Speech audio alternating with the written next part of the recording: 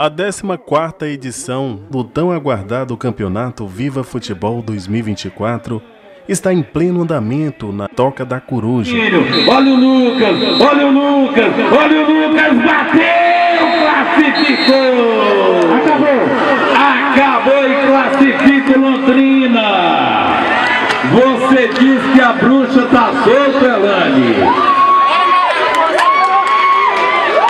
O nome peculiar do local foi inspirado pela presença de algumas corujinhas que escolheram o local como seu habitat. Anteriormente, o local tinha o nome Arena Imperial. O local foi rebatizado como Toca da Coruja, refletindo a nova moradora. O campeonato está em fase do mata-mata, com jogos repletos de adrenalina e emoção, e conta sempre com um grande público aos finais de semana. A grande final está prevista para o dia 16 de março, prometendo ser um momento de celebração e competição acirrada. O Erland, que está à frente da organização do evento, juntamente com seus parceiros, compartilha entusiasmado sobre o esforço para garantir o sucesso do torneio pelo segundo ano consecutivo à frente. Sim, eu estou na organização segundo, segundo ano consecutivo, né, 2023, 2024. O Nilson é o nosso narrador aqui, a gente fica bem grato por ele estar aqui sempre fazendo parte, entendeu? A organização é eu e minha equipe, entendeu? O Lucas, o Erivaldo, o Bruno, a Deusimar, a Divina, entendeu? Então a gente fica bem grato por essas pessoas estar ajudando a gente fazer o campeonato Viu Futebol 2024. Então, quantas partidas, quantos times estão escalados para jogar aqui hoje?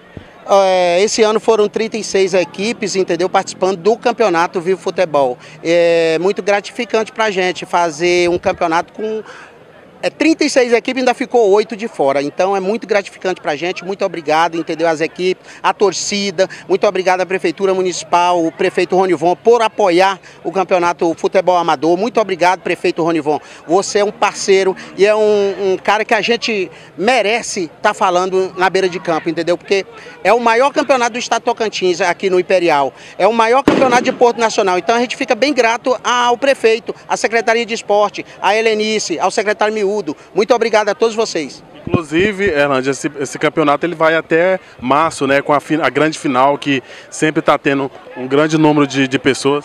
Sim, a gente, a final está é, tá programada para o dia 16 de março. É, nós começamos o campeonato dia 13 de, de janeiro e a final é um grande show dia 16 de março com Levanta Saia aqui no campo Porto Imperial. Rodrigo, vem muita coisa pela frente, com certeza.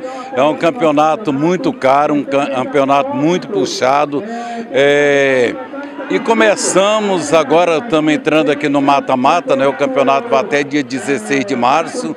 É um grande campeonato com uma premiação maravilhosa, com apoio total da Prefeitura Municipal, do nosso prefeito Ronivon Maciel. E está aqui, né? São várias equipes e já estamos aqui na 14ª edição do campeonato de 2024. É o campeonato Imperial, que agora não é mais a Arena Imperial, agora é Toca da Coruja, né?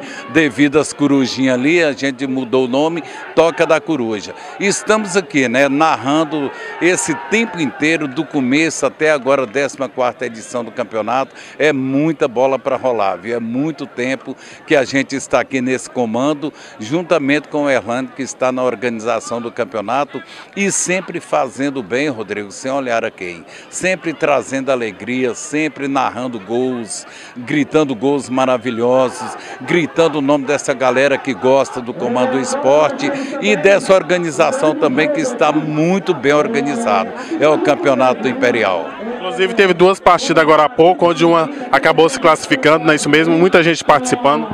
É, o Juventus, dos melhores times, saiu, deu adeus ao campeonato, perdeu nos pênaltis para o Bamboneira e também agora o Baita Amigos, outro grande time, é, perdeu aqui para o Londrina nos pênaltis, né? Estão fora. Então, como se disse o Erlândia agora há pouco, Nilson Bruxa tá solta, porque os grandes estão saindo, né? Mas o Jardão venceu hoje, Jardão foi embora com três pontos, né? Na capanga, e tá aí, essa grande partida, vamos agora para mais um jogo que estamos aqui agora. Vamos mandar ao vivo a cores e agradecer você, Rodrigo, que é uma liderança em Porto Nacional, líder em audiência, trazendo todas as notícias para essa população portuense. Muito obrigado, parceiro.